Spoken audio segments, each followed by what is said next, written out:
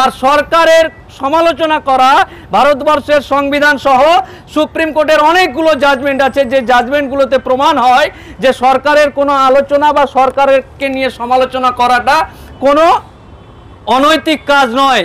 এটা মানুষের গণতন্ত্রের মাধ্যমে গণতন্ত্রের একটা স্তম্ভ হিসাবে সমালোচনা করাটাও একটা পাঠ যদি কোনো সরকারের সমালোচনা না করা যায় তাহলে সরকার কালা বোবা হয়ে যায়।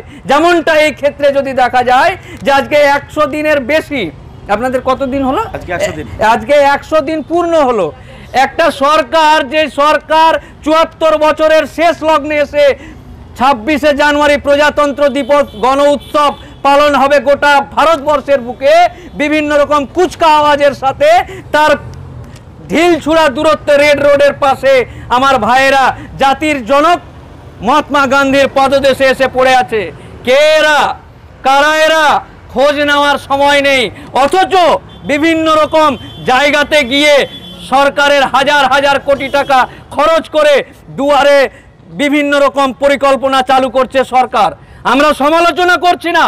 আমরা নিশ্চিতভাবে সরকারের যে সমস্ত কর্মসূচি আছে, যেটা মানব কল্যাণে লাগছে, আমরা সরকারকে সাধুবাদ জানাই। কিন্তু তার সাথে সাথে এই কালা বাবা সরকারকে আমরা বলতে চাই যে আমরা কারা? আমরা মঙ্গল গ্রহের কোনো এলিয়ান এসে এখানে বসে আছি সেটা নয়। যদি তারা মনে করে থাকে যে এই কুড়ি জন, পঁচিশ জন ছেলে মেয়ে এখানে বসে আছে, তাহলে তারা ভুল করবে। প্রত্যেক রাজ্যের প্রত্যেকটা জেলার, প্রত্যেকটা ব্লকের, প্রত্যেকটা অঞ্চলের জাতি, ধর্ম, বর্ণ নির্বিশেষে একজন চাকরি প্রার্থী হিসাবে, একজন যোগ্য প্রার্থী হিসাবে তাদের অধিকারের জন্য এখানে বসে আছে। যদি সরকার মনে করে এই কুড়ি জন, এই পঁচিশ জনের আমাদের কোনো রকম প্রয়োজন নেই, তারা কি করছে, না করছে এবং বেশিরভাগ ক্ষেত্রে দেখা যাচ্ছে কোনো একটা বিষয়কে নিয়ে সুপ্রিম কোর্ট বা হাইকোর্টের উপমা দিচ্ছে যে কোর্টে তো মামলা চলছে, কোর্ট যাই তাই করছে।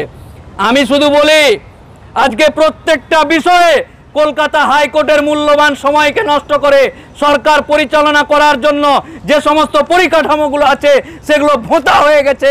তাই বিভিন্ন ক্ষেত্রে কোন মেলার পারমিশন দিবে, কোন ভোট পিছাবে, কোন কি করবে, তার জন্য কলকাতা হাইকোর্টের মহামূল্যবান সময়কে নষ্ট করে জজ সাহেবদেরকে সেই সমস্ত মামলাতে ইংগেজ করতে হচ্ছে।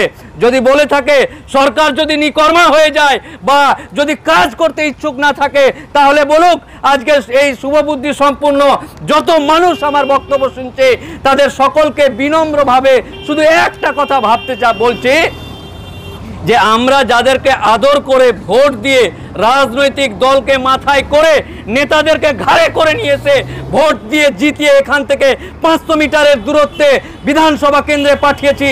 সেই সমস্ত রাজনৈতিক নেতা, সেই সমস্ত রাজনৈতিক দলের মে ক্যা হো গিয়া মে ক্যা হুনু, তারা কোথায়?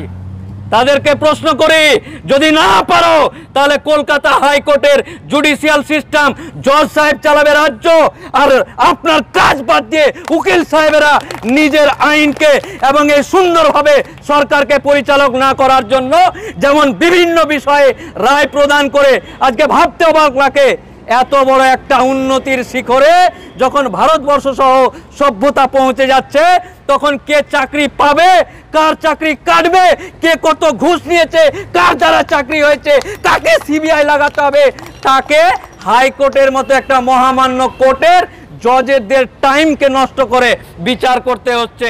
এলাস, আক্ষেপ!